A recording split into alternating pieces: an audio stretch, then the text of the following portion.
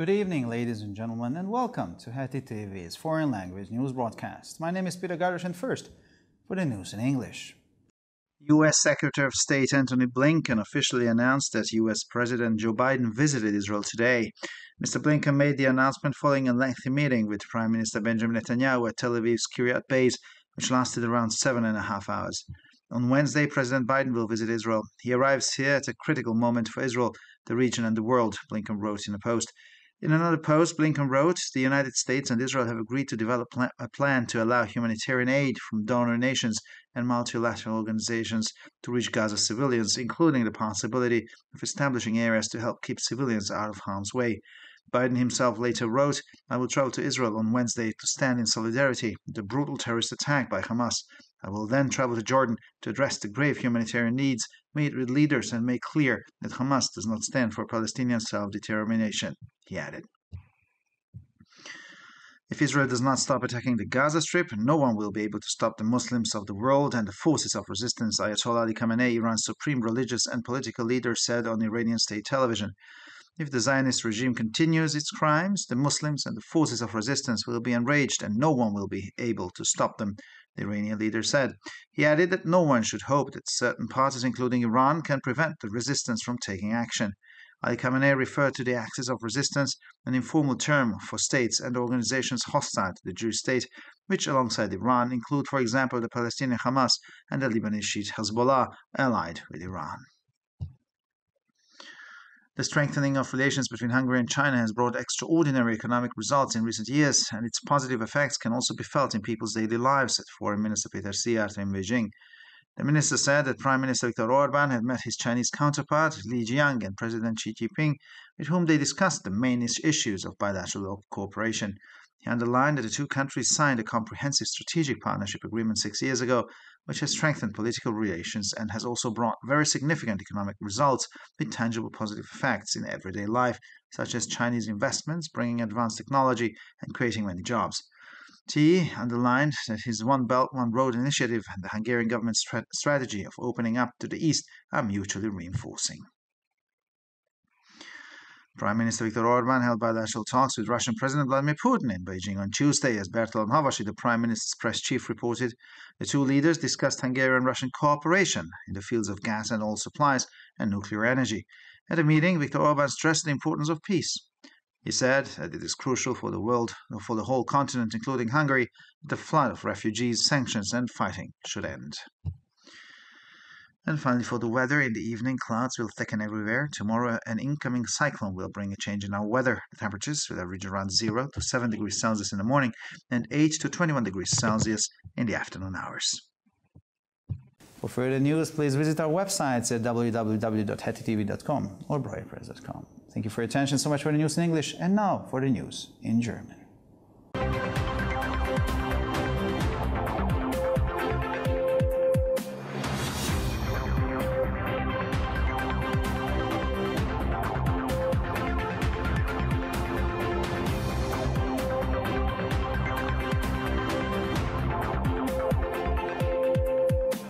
Schönen guten Abend, liebe Zuschauer. Mein Name ist Peter Garbasch und nun zu den Nachrichten auf Deutsch. US-Außenminister Antony Blinken gab offiziell bekannt, dass US-Präsident Joe Biden heute Israel besucht hat. Blinken machte diese Ankündigung nach einem längeren Treffen mit Premierminister Benjamin Netanyahu in der Kiryat-Basis in Tel Aviv, das etwa siebeneinhalb Stunden dauerte. Am Mittwoch wird Präsident Biden Israel besuchen. Er kommt zu einem kritischen Zeitpunkt für Israel, die Region und die Welt hierher, schrieb Blinken in einem Beitrag. In einem anderen Beitrag schrieb Blinken, die Vereinigten Staaten und Israel haben sich darauf geeinigt, einen Plan zu entwickeln, der es der humanitären Hilfe von Geberländern und multilateralen Organisationen ermöglicht, die Zivilbevölkerung des Gazastreifens zu erreichen, einschließlich der Möglichkeit, Bereiche einzurichten, die die Zivilbevölkerung aus der Gefahrzone heraushalten. Biden selbst schrieb später, ich werde am Mittwoch nach Israel reisen, um mich mit dem brutalen Terroranschlag der Hamas zu solidarisieren. Anschließend werde ich nach Jordanien reisen, um mich mit den gravierenden humanitären Bedürfnissen zu befassen, mich mit frühführenden Politikern zu treffen und deutlich zu machen, dass die Hamas nicht für die palästinensische Selbstbestimmung steht, fügte er hinzu. Wenn Israel nicht aufhöre, den Gazastreifen anzugreifen, werde niemand in der Lage sein, die Muslime der Welt und die Kräfte des Widerstands aufzuhalten, sagte Ayatollah Ali Khamenei, Irans oberster religiöser und politischer Führer im iranischen Staatsfernsehen. Wenn das zionistische Regime seine Verbrechen fortsetzt, werden die Muslime und die Kräfte des Widerstands wütend sein, und niemand wird in der Lage sein, sie aufzuhalten, sagte der iranische Führer. Er fügte hinzu, dass niemand darauf hoffen sollte, dass bestimmte Parteien, einschließlich des Irans, den Widerstand daran hindern könnten, etwas zu unternehmen. Ali Khamenei verwies auf die Achse des Widerstands, eine informelle Bezeichnung für Staaten und Organisationen, die dem jüdischen Staat feindlich gegenüberstehen und zu denen neben dem Iran beispielsweise die palästinensische Hamas und die mit dem Iran verbündete libanesische schiitische Hisbollah gehören. Die Stärkung der Beziehungen zwischen Ungarn und China hat in den letzten Jahren außergewöhnliche wirtschaftliche Ergebnisse gebracht, deren positive Auswirkungen auch im täglichen Leben der Menschen spürbar sind, sagte Außenminister Peter Siat in Peking. Ministerpräsident Viktor Orban habe seinen chinesischen Amtskollegen Li Jiang und Präsident Xi Jinping getroffen, mit denen er die wichtigsten Fragen der bilateralen Zusammenarbeit erörtert habe, so der Minister. Er betonte, dass die beiden Länder vor sechs Jahren ein umfassendes strategisches Partnerschaftsabkommen unterzeichnet haben, das die politischen Beziehungen gestärkt und auch sehr bedeutende wirtschaftliche Ergebnisse gebracht hat, mit spürbaren positiven Auswirkungen im täglichen Leben, wie zum Beispiel chinesische Investitionen, die fortschrittliche Technologie bringen und viele Arbeitsplätze schaffen.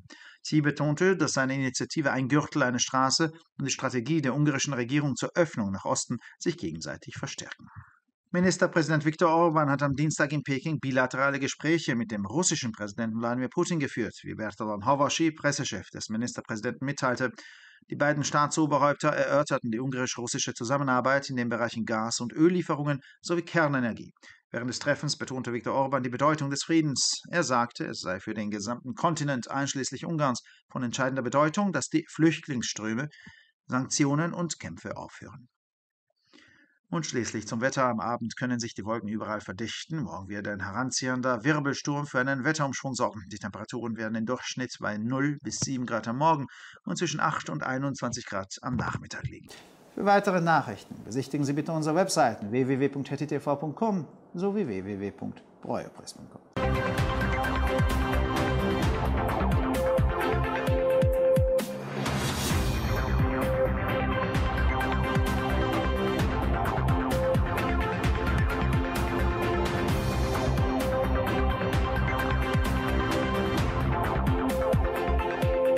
ערב טוב, גבירותיי ורבותיי, שמי אדם ברויר זאבי, ואלה הם החדשות בעברית. שר החוץ האמריקני אנטוני בלינקן הודיע רשמית כי נשיא ארצות הברית ג'ו ביידן ביקר היום בישראל. את ההודעה הודיע בלינקן בעקבות פגישה ממושכת עם ראש הממשלה בנימין נתניהו בבסיס האוויר של הקריה בתל אביב, שנמשכה כשבע וחצי שעות. הנשיא ביידן יבקר בישראל ביום רביעי, הוא מגיע לכאן ברגע קריטי עבור ישראל, האזור והעולם, כתב בלינקן בפוסט. בפוסט נוסף כתב בלינקן, ארה"ב וישראל הסכימו לפתח תוכנית שתאפשר סיוע הומניטרי ממדינות תורמות וארגונים רב-צדדיים לאזרחים בעזה, לרבות יצירת אזורי ביטחון אזרחיים. ביידן עצמו כתב מאוחר יותר שהוא נוסע לישראל ביום רביעי כדי לעמוד בסולידריות נגד מתקפת הטרור האכזרית של חמאס. לאחר מכן ניסה לירדן כדי לטפל בצרכים הומניטריים קשים, להיפגש עם מנהיגים ולהבהיר שחמאס אינו מייצג את ההגדרה העצמית הפלסטינית, הוסיף. אם ישראל לא תפסיק את ההתקפה ברצועת עזה, איש לא יוכל לעצור את המוסלמים בעולם ואת כוחות ההתנגדות, אמר המנהיג הדתי והפוליטי העליון של איראן, האייתולה עלי חמינאי, לפי דיווח בטלוויזיה הממלכתית האיראנית. אם המשטר הציוני ימשיך בפשעיו, המוסלמים וכוחות ההתנגדות יכעסו ואף אחד לא יוכל לעצור אותם, אמר המנהיג האיראני. הוא הוסיף שאף אחד לא צריך לקוות שגורמים מסוימים, כולל איראן, יוכלו למנוע את כוחות ההתנגדות. עלי חמינאי התייחס לציר ההתנגדות, שהוא שם לא רשמי למדינות וארגונים עוינים למדינה היהודית, הכוללים בנוסף לאיראן, למשל את חמאס וחיזבאללה. התחזקות היחסים בין הונגריה לסין הביאה בשנים האחרונות תוצאות כלכליות יוצאות דופן, שהשפעותיהן החיוביות מורגשות גם בחיי היומיום, אמר שר החוץ והמסחר פטר סיאטו בבייג'ינג. ראש המשרד דיווח כי ראש הממשלה ויקטור אורבן נפגש עם מקבילו הסיני לי צ'יאנג והנשיא שי צ'ינפינג. איתם דנו בסוגיות העיקריות של שיתוף פעולה דו צדדי. הוא הדגיש, שתי המדינות חתמו על הסכם השותפות האסטרטגית המקיף לפני שש שנים, ובכך הצליחו לחזק את היחסים הפוליטיים, מה שהביא גם לתוצאות כלכליות רציניות ביותר, הביא להשפעות חיוביות שניתן לחוש בחיי היומיום, למשל הבאת טכנולוגיה מודרנית ויצירת מקומות עבודה רבים בצורה של השקעות סיניות. סי הדגיש שיוזמת ה-One Belt One Road, או יוזמת החגורה והדרך, שעליו הכריז, ואסטרטגיית הפתיחה המזרחית של ממשלת הונגריה, מחזקים זה את זו. ראש הממשלה ויקטור אורבן קיים שיחות דו-צדדיות עם ולדימיר פוטין, נשיא רוסיה, בבייג'ינג ביום שלישי, הודיע ברטולן הובש, ראש לשכת העיתונות של ראש הממשלה. שני המנהיגים דנו בשיתוף פעולה הונגרי-רוסי בתחומי הובלת גז ונפט ואנרגיה גרעינית. אה, הדגיש ויקטור אורבן, אה, ושם הוא גם הדגיש את חשיבות השלום. הוא הסביר, יש חשיבות מכרעת לכל היבשת, כולל הונגריה, לשים קץ לזרם הפליטים, לסנקציות ולקרבות. הסביר ברטולן הובשי. ולמזג האוויר, עננים עשויים להתעבות בכל מקום בשעות הערב. מחר סופת ציקלון תביא לשינויים במזג האוויר שלנו. הטמפרטורות תהיינה סביב 0 עד 7 מעלות בבוקר, ובין 8 ל-21 מעלות אחר הצהריים. לחדשות נוספות, אנא בקרו באתרי האינטרנט שלנו, ב-hattitv.com או broyerpress.com. תודה רבה והמשך ערב נעים.